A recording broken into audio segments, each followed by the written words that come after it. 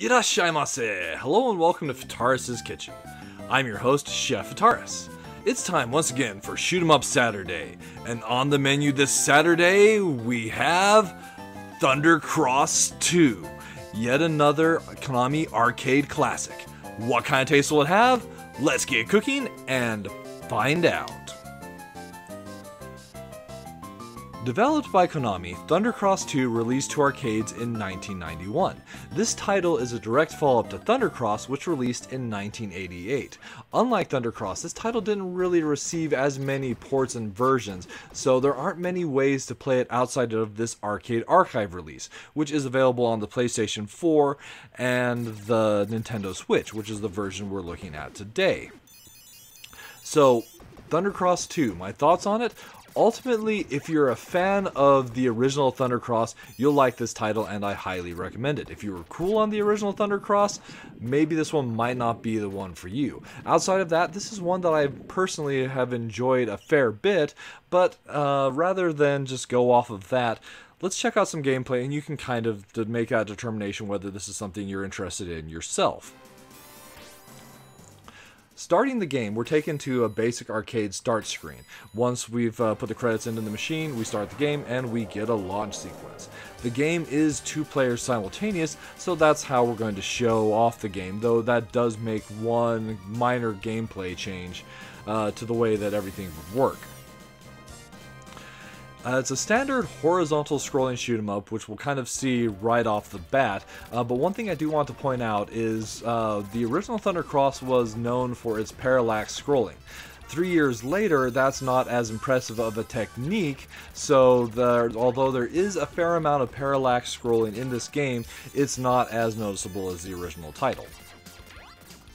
So uh, we have a standard horizontal scrolling shoot 'em up here, but the controls are relatively basic. We have a shot button and we have an option control button, uh, which will serve two purposes. Initially, what the op option control allows you to do is control the distance your option is from the ship. As far as the number of options we can have, you can have a total of four options at uh, at most at any time. That's shared between two players in a uh, co-op game. So that's the big difference between single player and uh, uh, multi or single player and uh, two player mode is the number of options that are available. So ultimately, I would recommend if you're playing in co-op that it's best to work with your co-op partner and uh, divvy up the options in an even way. Uh, here we find ourselves with like facing the quick little like mid boss. Most of the stages do have like a larger enemy like to, to take out. So there are four possible weapons that we can upgrade throughout the course of, or upgrade to throughout the course of the game. So those weapons are the N, which is uh, stands for normal, so that just basically upgrades your normal shot, and all the weapons can upgrade up to four uh, levels, which is pretty neat. Then there's also the V for Vulcan, which kind of is a rapid fire shell.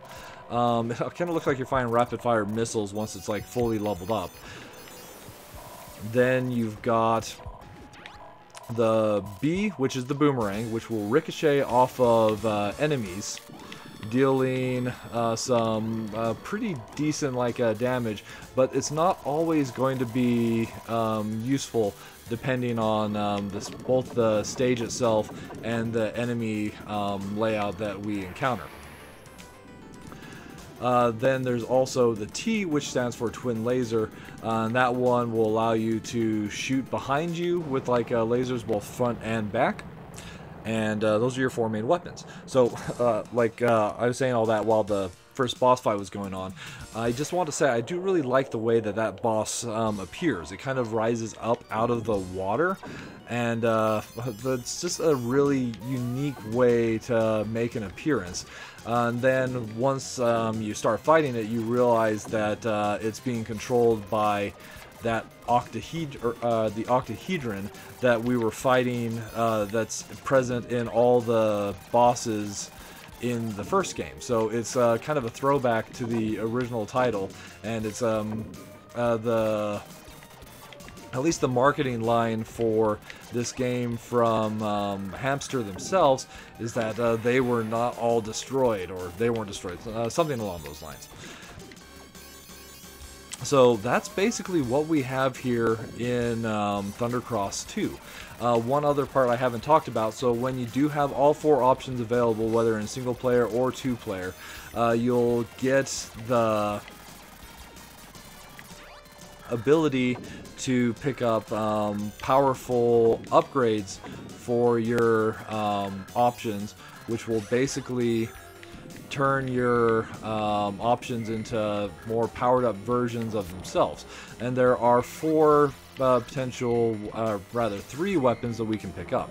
So you saw me use the one of them against the first boss, and that was the laser. Um, now I'm using the crush, and this is the one that, that I like the least um, because it fires like, oops, uh, a bomb that kind of explodes a set distance uh, in front of the ship. So I feel like it's situationally useful, um, but once again, you're not going to find like um, the greatest uh, opportunities to always use that particular power up. And then the third one is the fire power up. Um, which in this case kind of acts as like uh, you're firing firebirds at the enemies. This is like visually, it's really cool um, but it's not as um, awesomely useful as the um, flamethrower from the first game, which was like a kind of OP, truth be told.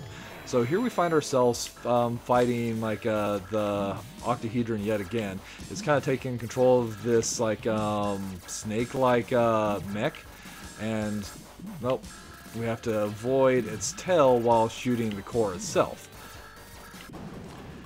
And with that down, second stage is taken care of. And for the most part, we've basically seen Thundercross 2. The game has a total of seven stages. One thing to note is, although you can continue in all stages up to stage 7, it's not possible to continue in stage 7. So keep that in mind for uh, your playthroughs. Um, as far as the minus um, flavors are concerned for the game, I have two main ones. And uh, the first one is, is the game just suffers from power down syndrome, although not as bad as uh, some other Konami shooters, where if you die, it takes a while to build yourself back up to the level that uh, you were at before. Um, but uh, in this one, it feels like they're a little more generous with the power-ups, and so it's not as big of um, a problem to build yourself back up to a decent um, strength. Then the other one is the way that the power-ups themselves are handled. So the power-ups will uh, change over time once they appear, but sometimes that makes it quite difficult to obtain some power-ups. For example, if you happen to have all four of the options, if you want to pick up the flame power-up, you have a very short window after it appears on the screen to get that um, power-up uh, once it's changed to the laser, you've uh, missed your opportunity. And if it decays uh, yet one more level to... If it decays one more level to the... Um, or if it decays to crush and then past that point, you'll just be getting the regular power-ups. I kind of wish that it would like cycle through, there would be power-ups that would be specifically for the um, powered up options and then like those were for the regular weapons rather than have them kind of be shared uh, between them. Although then maybe that wouldn't uh, come up nearly as frequently. Um, but uh, those are the two main like uh, minus flavors I have for. As far as the plus flavors are concerned, though this game is relatively simple, I feel it's a really like a great fun example of your classic horizontal scrolling shoot 'em up. So if you enjoy those kind of games, it really has that classic arcade feel and like this one just comes across as just relatively like uh, fun and enjoyable. Uh, sometimes like a pedestrian, but um, by no means is this like uh, a bad game, and it's one that I've really enjoyed my time with. Uh, then the other like uh, plus flavor, I just really like the art that this game has. Each stage has unique enemies um, that uh, you won't find on any other stage. So basically, there's a lot of like uh, work here done um, with the sprites. The bosses are all like uh, different, and uh, although some of the boss fights are more interesting and engaging than others, like this one actually is one that I find to be quite engaging. Um, there's like a, a decent amount of like variety to what we have going on. And so at the end of the day, like uh, Thundercross 2 is a title that I can recommend if you're a fan of early 90s horizontal scrollers or if you really enjoyed the original Thundercross.